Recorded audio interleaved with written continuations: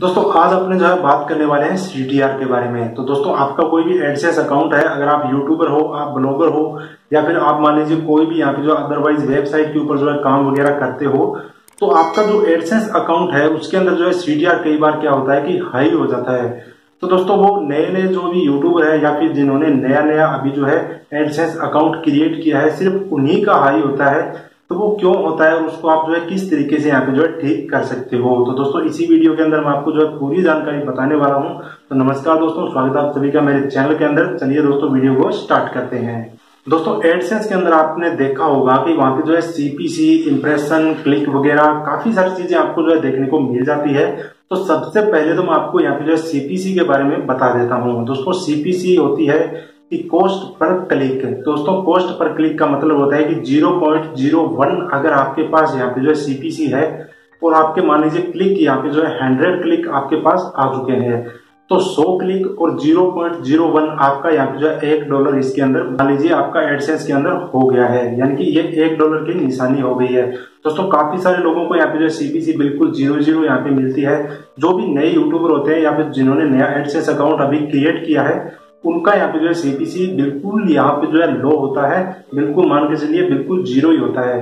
तो दोस्तों सीटीआर का फिर इसके अंदर जो है क्या रोल होता है? मैं आपको बता देता हूँ दोस्तों सीटीआर का मतलब होता है क्लिक थ्रू रेट यानी कि आपने जितना भी आपका तो मान लीजिए आपका जैसे हज़ार यहाँ पे जो है इम्प्रेशन आ चुका है। और दोस्तों, हज़ार इम्प्रेशन के अंदर से मान लीजिए आपका जो सीटीआर है वो यहाँ पे टेन आ चुका है, यानी कि दस आ चुका है। तो दोस्तों, दस का यहाँ पे मतलब होता है कि हज़ार में से दस, यानी कि जो है सौ आपका यहाँ पे जो है यहाँ पे जो एड वगैरह है, वो सौ आपकी यहाँ पे जो है हंड्रेड एड वगैरह यहाँ पे जो है वॉच हो चुकी है।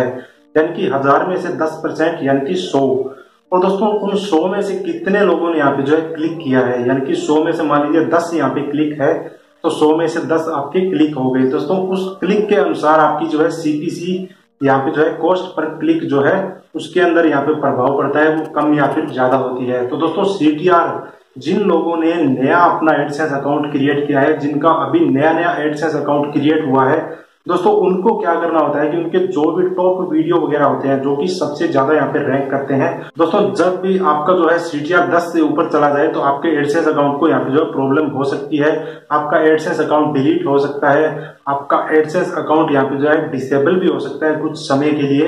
तो दोस्तों ऐसा क्यों होता है? मैं आपको बता देता हूँ कि जो भी नया यहाँ पे यूट्यूबर वगैरह होता है यूट्यूब नहीं चाहता है कि कोई भी यहाँ पे जो है ज़्यादा इनकम कर सके। नया जो भी यूट्यूबर है, सिर्फ़ उसके लिए ऐसा माना जाता है कि जो भी नया यूट्यूबर है, वो यहाँ पे ज़्यादा इनकम नहीं कर सके।